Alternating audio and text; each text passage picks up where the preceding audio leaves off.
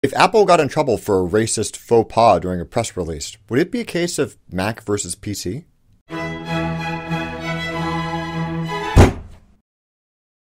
With holiday shopping on everyone's brains, it's time for my annual reminder that modern tabletop games are the perfect gift idea for almost anyone on your list who doesn't hate fun.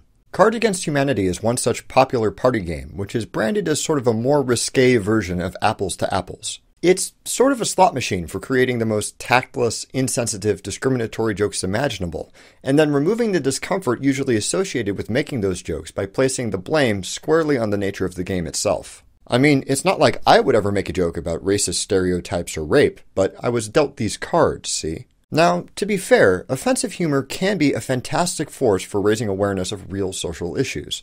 It can be poignant and thoughtful and galvanize us to change things for the better. But it can also be used as an anesthetic to deaden that awareness, to comfort us that, for example, racism is just a fact of life and we shouldn't feel too bad about that. After all, we're laughing, right? Talking about discriminatory or deliberately offensive speech, like that in CAH, is often framed as a discussion of political correctness, or PC, a term which implies that the whole point of any such discourse is ultimately political, to establish the most bland, generic, inoffensive face possible. Many have begun to campaign against it, saying that direct advocacy for politically correct speech has become nothing more than offense for its own sake. And, unfortunately, there are some behaviors that PC advocates are historically prone to that make it difficult to dismiss that criticism as totally baseless. There's a definite trend among those advocates of picking fights, not just with neo Nazis or racist politicians, but with each other. There are two theories in social psychology which make this supposed internal conflict make a little bit more sense. The first is social dominance theory. According to SDT, there are certain groups which our culture has marked as being okay to oppress certain demographics which we feel more comfortable talking down to or bossing around, and others which we feel less comfortable doing the same to. That social bias doesn't just vanish because somebody decides that discrimination is bad. That gut feeling dictated by our culture of who can be successfully bullied is just as present in social justice warriors as it is in CEOs or presidential candidates. And unfortunately, those people who most benefit from egalitarian thinking, who have experienced systemic discrimination firsthand, tend to be on the lower end of that hierarchy. And guess which side of the PC debate they generally fall on. For that reason, according to SDT, PC advocates are prone to vehemently correcting each other, more so than they are individuals who belong to more traditionally dominant demographics. That's not great. Second, there's construal level theory. According to CLT, the psychological distance between someone and whatever it is that they're thinking about determines how abstractly or concretely they think about it. So, in CLT, if I live in a comfortable suburb and I'm thinking about Bear Grylls roughing it in the wilderness, I'll think about more abstract things like rugged individualism and connectedness to nature. Whereas if I'm actually camping, I'll be thinking about more concrete things, like how there's no good firewood and, oh god, what if there are ticks in my boots? It might be the case that for people who are interested in egalitarianism, the minds of neo Nazis and overt racists are so far removed from what they're used to that they can only be thought of as abstractions, maybe as symptoms of some underlying social disease. Whereas fellow social justice warriors are close enough that every single concrete detail of their behavior is ripe for criticism. If you would do everything that I would do except for one tiny thing, it's very easy for me to get on your case to fix that one thing and overlook all of the stuff that we agree on.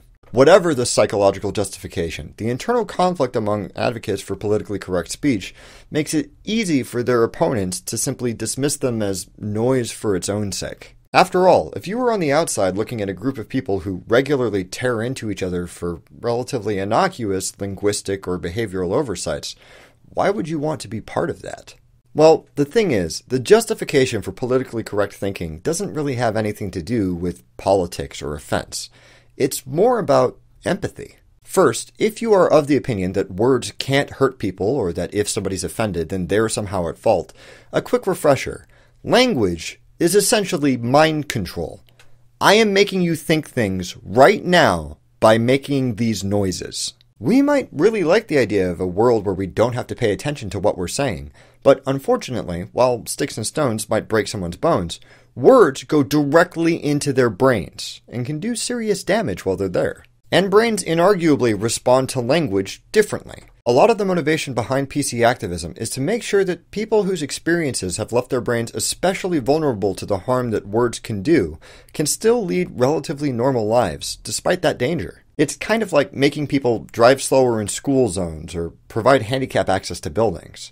It's recognizing that while some kids are savvy about crossing the street and some adults are capable of using stairs, there are a significant number of both who might require some sort of societal assistance, and we shouldn't make them beg for it. Similarly, somebody who's living with sexual assault or PTSD might be totally okay hearing offensive jokes made at their expense or watching traumatic media.